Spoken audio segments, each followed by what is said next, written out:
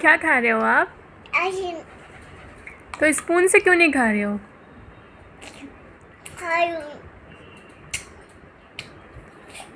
Spoon से खाओ। हाँ जी प्रोटीन खा रही हूँ